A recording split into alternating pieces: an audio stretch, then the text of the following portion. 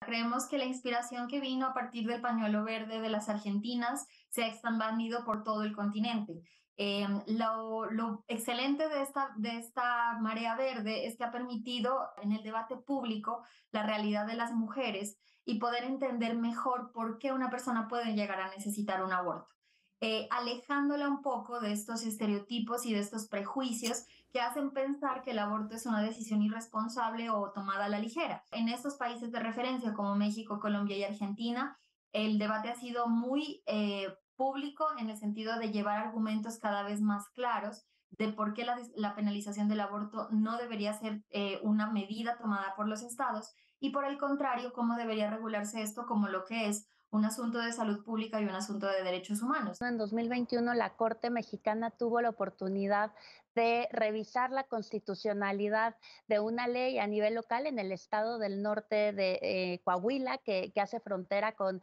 con Texas, y ahí por primera vez la Suprema Corte de Justicia eh, reconoció y estableció que la prohibición absoluta del aborto voluntario es inconstitucional porque viola una serie de derechos humanos, entre ellos el derecho a la autonomía reproductiva, el derecho a la, a la salud. Y hace apenas unos días, la, la primera sala de la Corte